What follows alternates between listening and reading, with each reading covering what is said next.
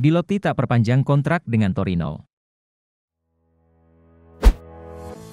Andrea Belotti dikabarkan tidak akan memperpanjang kontraknya dengan Torino, Situasi ini akan dimanfaatkan Milan untuk mendatangkannya ke San Siro. Striker Italia berusia 28 tahun itu bergabung dengan Granata sejak Agustus 2015 dan menjadi pemain favorit fans Torino. Namun, kabar terbaru melaporkan bahwa dia hampir dipastikan akan pergi pada Juni tahun depan setelah kontraknya berakhir. Seperti dilansir calciomercato.com, Belotti diperkirakan tidak akan memperbarui kontraknya dengan Torino. Pembicaraan antara kedua pihak selama beberapa bulan terakhir tidak menghasilkan kesepakatan kesepakatan. Banyak klub yang tertarik untuk menggunakan jasanya, termasuk AC Milan, Napoli dan Fiorentina. Musim panas lalu, Inter juga tertarik pada pemain tersebut setelah kepergian Romelu Lukaku. Belotti dapat menandatangani prakontrak dengan klub baru, mulai bulan depan. Beberapa bulan ke depan akan menentukan bagi pemain berusia 28 tahun itu. Belotti telah mencetak 107 gol dalam 238 penampilan bersama Torino. Masa depan Dybala di Juventus masih belum ada kejelasan. Menurut laporan media di Italia, Juventus akan mengubah kesepakatan yang dicapai beberapa minggu lalu dengan Paulo Dybala. Hal itu dapat membuat sang pemain memutuskan untuk meninggalkan klub dengan status bebas transfer di akhir musim. Kontrak Dybala di Allianz Stadium akan berakhir pada Juni 2022. Sebelumnya, dilaporkan bahwa Juventus dan Dybala telah mencapai kata sepakat untuk perpanjangan kontrak dengan nilai 10 juta euro per tahun hingga 2026. Agen sang pemain, Jorge Antun, telah melakukan perjalanan beberapa kali ke Turin tetapi gagal untuk menandatangani kesepakatan baru. Awalnya karena masalah birokrasi, terutama terkait status Antun di daftar agen FIGC. Kini, menurut La Gazzetta dello Sport, ada masalah baru. Juventus berencana untuk mengubah ketentuan perjanjian dengan pemain, terutama karena masalah fisiknya. La Gazzetta dello Sport melaporkan bahwa Juventus akan meminta Dybala untuk menurunkan gajinya dan menaikkan bonus. Atau, menandatangani kontrak dengan durasi yang lebih singkat, kontrak 3 tahun bukan kontrak 5 tahun. Bagaimanapun, pemain berusia 28 tahun itu tidak akan menandatangani kontrak baru sebelum Februari. Oleh sebab itu, sang pemain akan bebas melakukan pembicaraan dengan klub lain, mulai awal Januari, menjelang kemungkinan bebas transfer di akhir musim. Julian Alvarez membantah kepindahannya, di tengah rumor ketertarikan Juve, Inter dan Manchester United. Bintang muda River Plate, Julian Alvarez, telah dikaitkan dengan banyak klub top Eropa, namun striker itu membantah kepindahannya pada bursa transfer Januari. Pemain berusia 21 tahun itu tampil impresif, dengan mencetak 18 gol dalam 21 penampilan di Liga Super Argentina musim ini. Inter telah mengintai sang pemain dan hal yang sama juga telah dilakukan oleh Juventus, Milan dan Manchester United.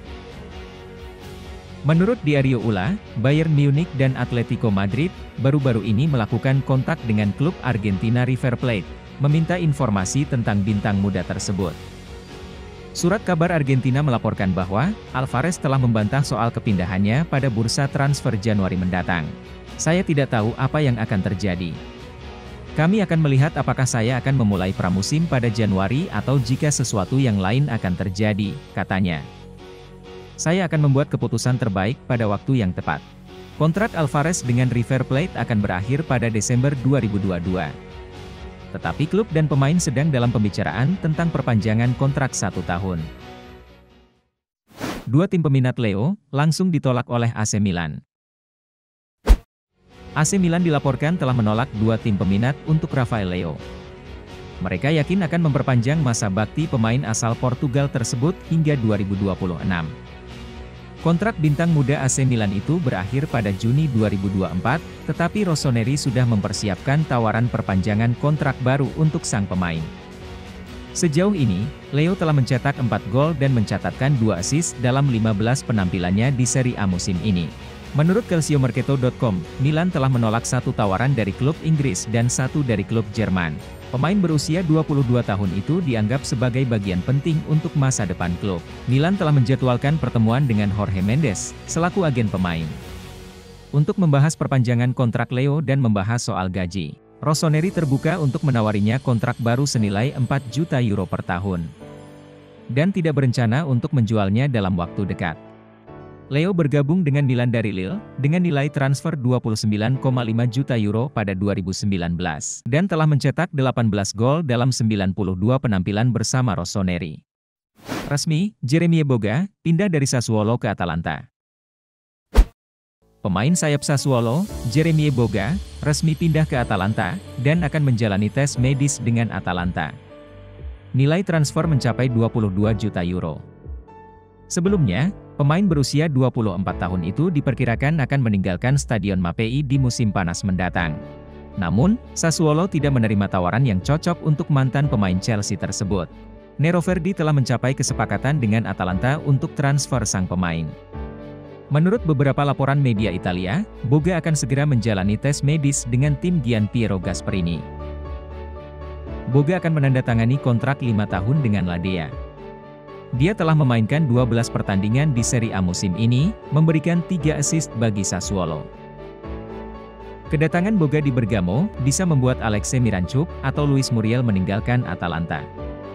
Pemain internasional Rusia itu menjadi incaran Genoa asuhan Andriy Shevchenko.